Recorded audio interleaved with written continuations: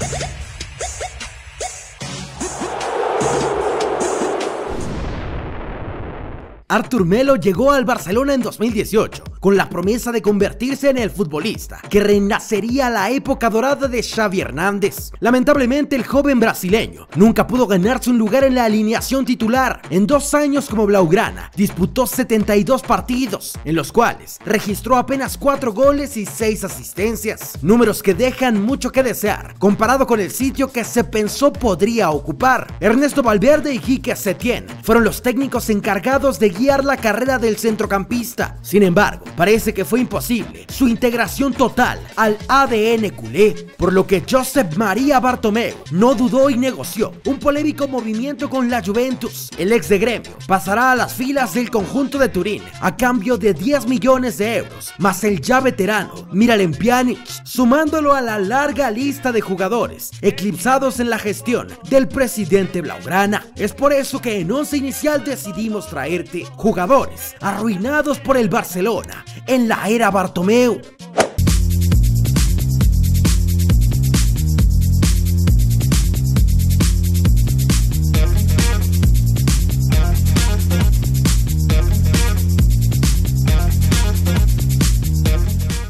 Número 5. Ousmane Dembélé fichó por el Barcelona en 2017 con el cartel de ser una de las joyas con más proyección a futuro en el Borussia Dortmund. Dejó claro su potencial y calidad, por lo que se esperaba que en el Camp Nou explotara como una realidad que hiciera olvidar el talento de Neymar. La directiva desembolsó por él 125 millones de euros, cifra que desde el inicio estuvo en el ojo del huracán, pues ya se hablaba de los constantes problemas físicos del francés desde que aterrizó en Cataluña. Registra 10 lesiones, la última de ellas, una ruptura del tendón proximal del bíceps femoral de su muslo derecho, malestar que lo tiene fuera de las canchas desde el 3 de febrero. Además, no ha podido escapar de la polémica por ser catalogado como un jugador que cae en constantes indisciplinas, ya que en diferentes momentos se ha ausentado o ha reportado tarde a los entrenamientos culés, situación que provoca que se dude de su profesionalismo y que atrase sus procesos de recuperación. En total, en tres temporadas, el extremo registra 74 partidos, en los que solo ha marcado 19 goles y ha dado 17 asistencias. Resultados pobres, comparados con la expectativa que generó su transferencia, misma que también ha evidenciado la poca planificación financiera de Bartomeu, pues a pesar de los pocos méritos en el campo, es uno de los mejores pagados de la plantilla y según Bleacher Report, se espera que en el próximo mercado de verano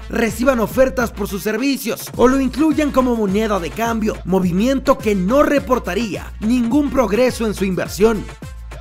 Número 4. Poco y nada duró el sueño de Malcolm Felipe Silva de Oliveira en Barcelona cuando aterrizó en Cataluña en julio del 2018. Hubo algunos valientes que se atrevieron a afirmar que la joven promesa brasileña se convertiría en una especie de nuevo Samuel Eto'o. Lamentablemente todo eso quedó solo en el terreno de la ilusión. Ernesto Valverde nunca le tuvo la confianza necesaria para darle un rol de protagonista o siquiera tomarlo en cuenta como un suplente de garantías. De acuerdo con información del diario español Sport, esto se debe a que la contratación del extremo se manejó entre Bartomeu y su directiva, quienes pagaron 40 millones al Girondins de Burdeos, sin tomar en cuenta la opinión y los deseos del entrenador, por lo que indirectamente lo condenaron al banquillo en uno de los clubes más competidos del planeta. El atacante paulista únicamente pudo defender la casaca blaugrana durante una temporada en la que sumó unos muy tristes 1067 minutos, repartidos en 24 partidos. Su marca personal cerró con 4 goles y 2 asistencias. Al final,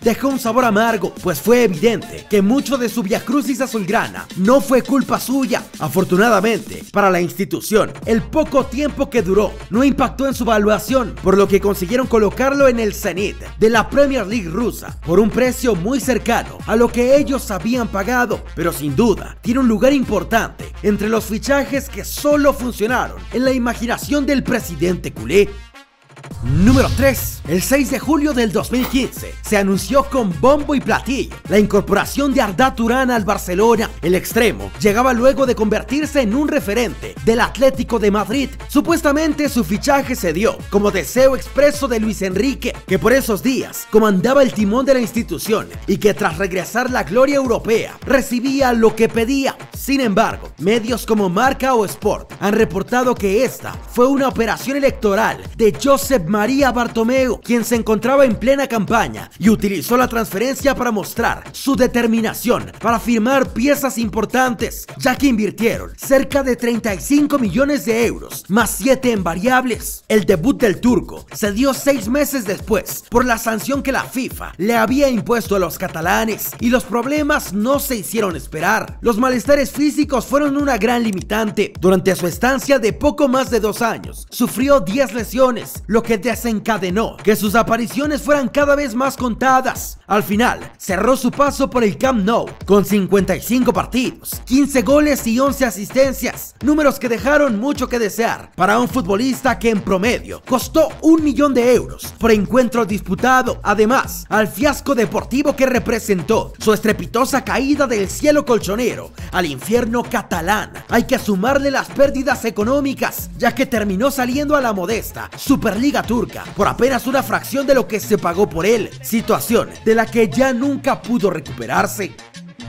Número 2. El Barcelona no es para todos, eso no es un secreto. Y un ejemplo claro es André Gómez. El mediocentro portugués llegó a las filas de la institución cinco veces campeona de Europa en 2016 y su paso fue decepcionante. Los expertos atribuyeron su fracaso a que nunca pudo adaptarse a la velocidad de las transiciones en el terreno de juego y que sobre todo no aportó la calidad necesaria, pues una de sus máximas virtudes es la conducción de balón y en Cataluña se le pedía jugar fácil, un toque o dos, escenario en el que cometía un sinfín de errores. Pero algo que debemos tener en mente es que este es un problema que el Departamento de Inteligencia Deportiva de un club tan grande como el Barça tuvo que haber previsto antes de desembolsar 40 millones de euros. Sin embargo, como es normal en las decisiones de Bartomeu, parece que esto no fue tomado en cuenta y la historia fue la de un vuelo en picada. El jugador luso fue intrascendente para Luis Enrique. En su primer año superó los 2.600 minutos, pero en el segundo solo alcanzó a sumar 1.200, con un registro total de 3 goles y 4 asistencias en dos temporadas. Aunque hay que aclarar que la generación no era una tarea primordial en su posición, el error en la contratación de Gómez se hizo evidente con el anuncio del veterano Paulinho, quien llegó para ocupar su lugar y ser una especie de salvavidas para esa zona del terreno de juego. Al final, como hemos visto en este top, su precio sufrió una caída inevitable y terminó saliendo al Everton de Inglaterra por 25 millones. bonus. Número 1. La joya de la corona de malos fichajes de Bartomeu no podría ser otro que Felipe Coutinho. El habilidoso brasileño desempacó en Barcelona en 2018, luego de unas largas negociaciones con el Liverpool de Jürgen Klopp, pues se trataba de la estrella red y su precio así lo hizo notar, ya que por su talento tuvieron que pagar 120 millones de euros, más 40 en variables. En esos días, el técnico alemán declaró que en una conversación con el habilidoso jugador, le dijo que si se quedaba podrían construirle una estatua en Anfield, pero que si se iba probablemente solo sería un jugador más. Una frase que predijo la tragedia, pues en el Camp Nou siempre se quedó a medio camino entre ser un Neymar o ser un Iniesta. Según la prensa española, la directiva culé le comunicó desde las negociaciones que su lugar estaría en el centro del campo, a lo fantasmita, pero no consultaron al cuerpo técnico y en la práctica lo llevaron a la banda, desubicándolo y quitando dándole toda la confianza con la que había llegado. El fichaje más caro en la historia del club cayó en un terrible segundo plano del que ya no pudo recuperarse. Algunos apuntan a que su falta de carácter y capacidad de adaptación agravaron el escenario. Lo cierto es que con las pocas oportunidades los resultados no se dieron y cerró sus dos campañas con 76 partidos en los que anotó 21 goles y dio 11 asistencias. Su venta se convirtió en una urgencia, pero el valor de sus derechos federativos hacían que cualquier negociación se cayera. Para la temporada 2019-2020 se fue cedido al Bayern Múnich, pero la opción de compra no se hará válida, por lo que el Barça y Bartomeu tendrán que encontrarle un nuevo destino, uno que como ya vimos, seguro traerá una inminente pérdida económica. Johan Cruyff, leyenda culé, alguna vez dijo que el dinero está mejor en el campo que en el banco, un lema que por varios años se adoptó en la cúpula blaugrana y que sirvió para que fueran a por los mejores jugadores del mundo. Tristemente, la crisis financiera que atraviesa la institución desde hace un par de años hace que esto sea imposible y la presión facilita que sus decisiones sean equivocadas. La salida de Arthur para incorporar a Pjanic, así como todos los movimientos que mencionamos, son son ejemplos de la ingeniería fiscal sobre la planificación deportiva, un modelo que el Barcelona debería abandonar, pues en juego está su tradición y sus resultados. Además, están cayendo en esto, justo en los últimos años de Messi, el mejor de su historia, a quien deberían rodear de talento y no de errores. Pero cuéntanos, ¿cuál de estos jugadores crees que merecía más oportunidades en Barcelona? Déjalo en los comentarios, nos interesa mucho leer tu opinión y si estás de acuerdo con nosotros, nos ayudarías un montón dejando tu like.